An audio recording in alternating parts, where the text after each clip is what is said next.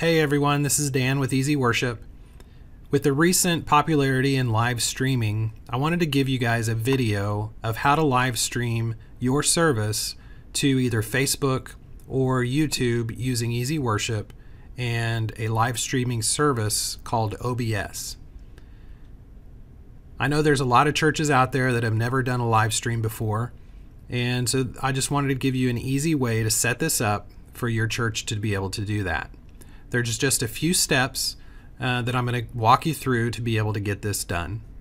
So the first step you want to do to be able to live stream through uh, OBS is to download and install the OBS software. It is a free software. So what you're going to do is go to obsproject.com and on that page at the very top you'll see three buttons to download. There is a Mac version and a Linux version, but since I'm running Windows on this computer, I'm going to click on the Windows button to download that. So once you click on the button, it's going to start downloading. Once that's finished downloading, you can run the software. I'm going to go ahead and load it here. I've got another screen, so they keep popping up over there, but it says, do you want to allow this app to make changes to your device? I'm going to say yes. All right, and then the software will start to install. So you'll just click next on the screen, click next again, and then just click install. And when the software is finished installing, you should get an OBS icon on your desktop that you'll be able to open the program. Now once this completes the installation, we should be able to just launch OBS uh, from that finished screen as well. So we'll see here in just a moment. Yeah, so on the finish page, there's an option, a checkbox to launch OBS Studio. So we'll go ahead and keep that checked and open it up when we click finish. Now you will have an OBS icon on your desktop as well so that you can open it in the future. You will get a prompt for the auto configuration wizard. We do want to do this, but not right now. So I'm going to go ahead and click no that I don't want to go through it right now. And then you'll get a prompt that says you can run it at any time from the tools menu. So I'll click OK. Now we're going to come back to this in just a little bit, so I'm going to go ahead and minimize this. And then we're going to set up Easy Worship with a feed from a camera and the lower thirds to be able to put the text on the lower thirds of that screen. All right, now we have Easy Worship open and we're going to set up a feed from our camera and then we're going to set up a theme that has the lower thirds text on the slides so that you can have the song lyrics or scriptures on the lower thirds with your feed in the background. So to be able to do that, when you open Easy Worship, you can go to the Media tab and then go to the feeds on the left. From here, we're going to right click in the feeds library and click add new feed. This brings up the feed editor from here, I'm going to give it a name. I'll just type in OBS. That's the name of the streaming software that we're going to use. And then under input device, I'm going to select my camera. So I'll select my camera there and we should see a live feed. I just have it pointing out my window. So you can see movement out there. This is a live feed. Easy Worship will automatically detect the best settings for that camera under the device options and the aspect ratio. So from here I can click OK. And then we see the feed in the preview window. So now we're going to set this up as a theme so that we can create a lower thirds text. Now to do that, you're going to right click on the feed and then select copy to theme. And you can choose either song theme, scripture theme, or presentation theme. I'll actually create a song theme right now. And I'll go ahead and create a scripture theme because we might use this for scriptures as well. All right, so now we're going to go over to themes. And under the song theme, we can see the theme that was created. So I'll right click on that theme and click Edit Song Theme. Now if I want the text on the lower thirds, all I have to do is click in the text box and drag that top of the text box down to the lower thirds of the screen and click OK. Now I'm going to go to the scripture theme and I can see my OBS theme here as well. If I right click on that and edit scripture theme, I can click in the text box and drag the top of that text box down to the lower thirds and click OK. Now if you wanted to, if you had some alpha channel videos for lower thirds, you could also add those as elements onto the theme as well. That way you have maybe a background flowing or something behind your text at the bottom of the screen. So now that we have the themes set up, I'm going to go to the Songs tab. Oh, one thing I forgot. Go back to Themes. I'm going to make the song theme and the scripture thing theme my default. So I'll right click on the theme and set as default song theme. Then I'm going to go to scripture and right click on it and set it as my default scripture theme. So now if I go to the songs tab, I can drag and drop songs into my schedule and I can go to scriptures and drag scriptures into my schedule and they'll be using that default theme. Now the reason this song did not have that background or that theme is because this song already has a default theme set to it or has a different theme. So I can go to the song themes and drag and drop the theme that I want onto that song. Now if I go live by clicking go live you can see I've got the text on the lower thirds of my live feed. Alright, now that we have the lower thirds text set up in Easy Worship on the live feed, I'm going to walk you through how to get your live stream from OBS into your Facebook Live. All right, so now you'll want to go to your Facebook page. And on your profile page, you'll click Live Video. Once that window comes up, you'll have some different options to select from. Choose how you want to create your live video. We're actually not going to be using the camera or the microphone, and I'm going to actually change this to use stream keys.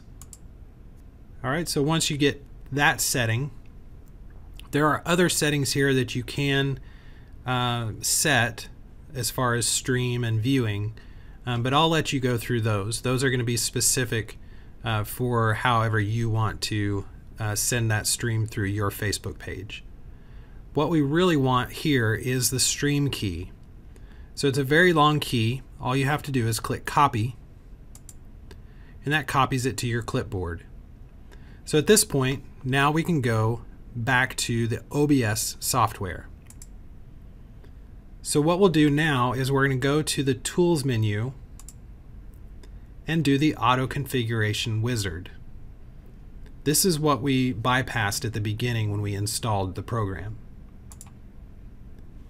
When we open that, we're going to optimize for streaming and click Next.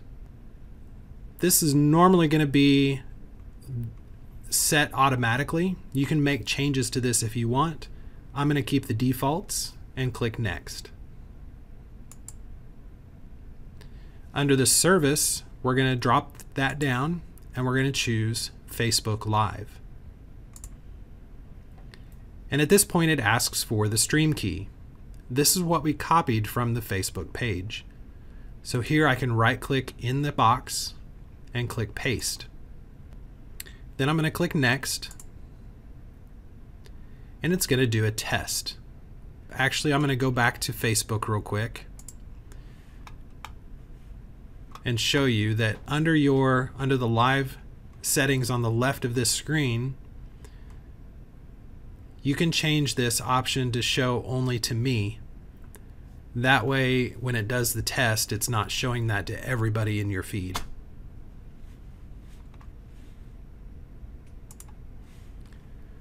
So I'm going to go ahead and click yes because I'm the only person that's going to be able to see this test. And it'll just take a moment uh, maybe a less than a minute or so to be able to do this test. And when it's finished, it's going to come back and tell you that it's ready for the live stream. All right, so I can apply the settings. It set up all that for me automatically. Now what I want to do is create a source.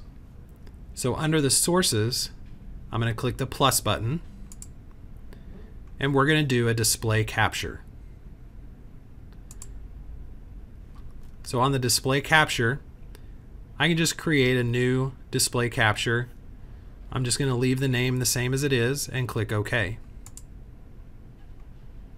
Alright, so this shows my desktop screen. I actually want it to show, well, it's on the correct screen. I want it to show display 1. If I open Easy Worship and turn my live output on, All right, now you can see that it is displaying my live output from Easy Worship. So I'll click OK, and that is my display capture. Now all you have to do is click Start Streaming. Now if we go back to Facebook, you can see that it's ready to go. All you have to do is change this back to friends from only me or whoever you want to send it to and then click go live. And that's going to send your live feed from easy worship to facebook live. Now any changes you make in easy worship are going to show up on your on your live screen. I'm not actually going to go live right now but i'm going to change a couple of slides. There is a little bit of a delay but anybody watching your Facebook Live is not even going to notice the delay. So once you change the slides, you'll see those change on your Facebook Live. You can see that in the bottom right corner. If I go live to one of my scriptures,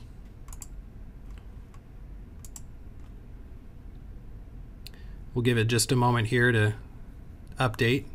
So there it updated to the second slide of the song. And now it updated to the scripture. All right, so we've got it set up on Facebook Live. We set up easy worship for the lower thirds text over the live feed. And then we sent the live output to OBS. And we captured that in OBS, set up the um, display, and set it up through Facebook Live with the stream key. All right, next we're going to show you how to set it up for YouTube to go live through YouTube.